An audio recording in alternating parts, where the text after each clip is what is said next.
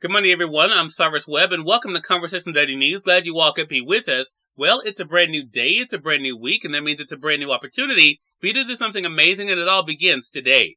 Of course, you have your news headlines coming up on this Monday with a message from my book, Words That Choose to Live By. And in today's Entertainment Spotlight, you're part of my conversation with Brian Moody of Kelley Blue Book. He's going to be helping you guys find the best vehicles for teens. You don't want to miss that. Enjoy today's broadcast. For Conversation Daily News, I'm Cyrus with their Monday headlines. In international news, Ukraine says rockets strike mayor's office in occupied Donetsk. Pro-Kremlin officials on Sunday blame Ukraine for a rocket attack that struck the mayor's office in Donetsk, a city controlled by the separatists, while Ukrainian officials said Russian rocket strikes hit a town across from the Zaporizhzhia nuclear power plant, among other targets.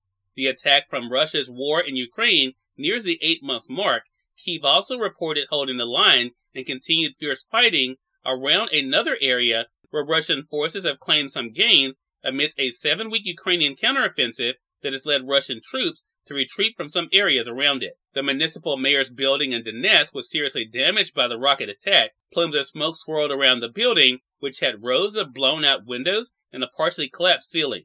Cars nearby were burned out.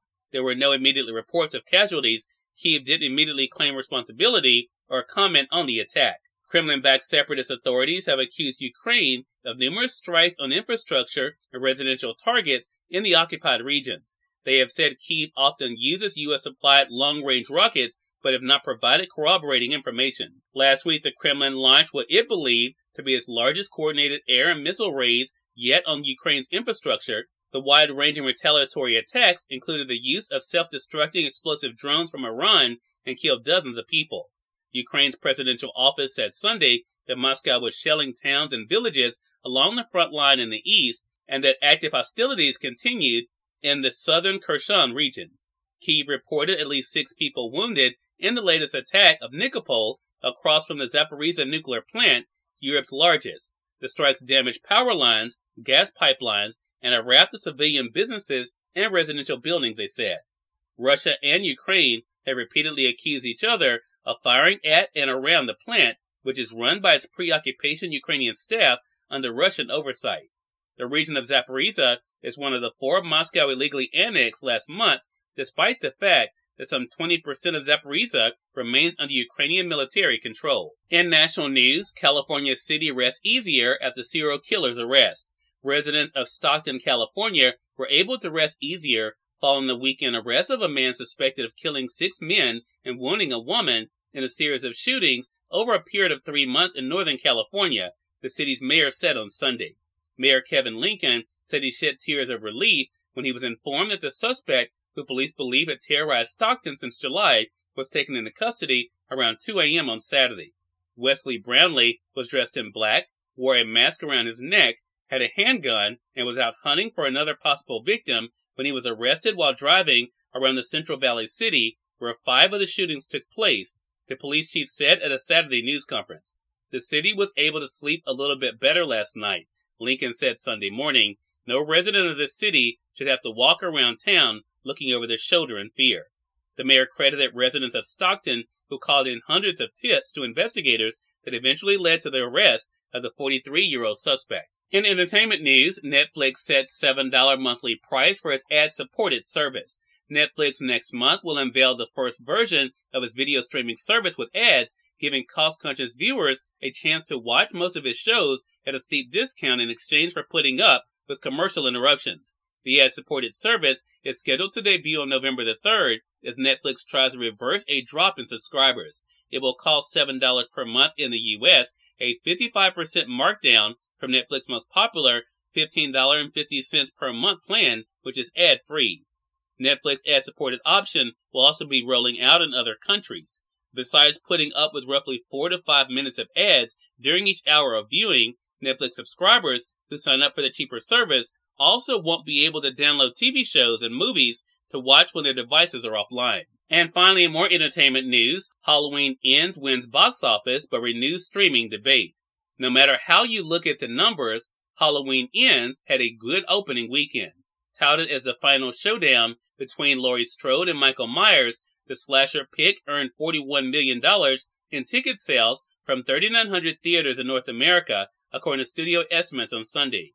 It's the first film to open higher than $40 million since Nope debuted in July, and it surpassed its budget production, which has been reported to be between 20 and 30 million dollars. Including international showings, it boasts a global total of $58 million. The film also renewed an evergreen debate about day and time movie releases, and some in Hollywood are wondering whether it could have been even bigger if it hadn't debuted simultaneously on Peacock, NBC Universal streaming service. Cyrus Webb, Conversations Daily News. It's now time for a message from my book, Words That Choose to Live By. Enjoy. Good Monday, everyone. I'm Cyrus Webb, and welcome to Words That Choose to Live By. Today, surround yourself with individuals that support your vision who don't try to destroy what you are building. We all need someone. Just make sure that those who are with you are truly on your side, not just by your side. Have an amazing Monday. Brian Moody is featuring today's entertainment spotlight right here on Conversation Daily News. For Conversation Daily News, I'm Cyrus Webb with your entertainment spotlight. Brian Moody of Kelley Blue Book rejoined me on Conversations Live, the radio show, to talk about the best vehicles for teens. Well, that's something for me to think about with my nephew getting ready, I'm sure, to be hitting the road. Here's a bit of our conversation. This is always, I think, a tricky thing. Uh, for me, it's a little scary to think about my nephew driving, but they're, they're growing up and these things happen. What factors should we consider, Brian, when it comes to car shopping for teenagers? Well, you, for for one thing, you just consider reliability, of course. That's one thing you want to consider, but also um, affordability. You want the price to be right for you and for your family and for the driver as well. Maintenance is something to consider. Some cars are less expensive to maintain, and others are more expensive. But also safety features. Not all cars come with the same safety features. In fact, even cars that are the same model, say Honda Accord, they don't all come with the same safety features throughout the years. You have to do some research and figure out which ones are the ones, which trim levels, whether it's the EX or the LX or the XLE or whatever it is, those all come with different options and safety features, not just comfort features. Well, great tips there. Well, Brian, let, us talk about safety then, because that is such a big one, I think, for all of us. What safety features should we look for in a vehicle? At a minimum, we think you should have um, traction control, stability control, anti-lock brakes, uh, of course, airbags.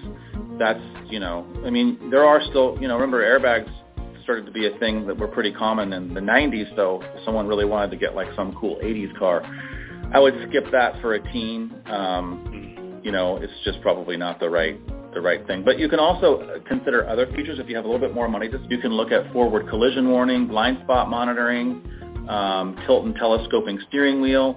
An adjustable driver's seat will help them get in the right position more easily. And, um, you know, parking cameras, 360 degree parking cameras where you can see all the way around. And also headlights that turn themselves on and off as it gets dark and light again. Those are some things to look for. Cyrus Webb, Conversations Daily News.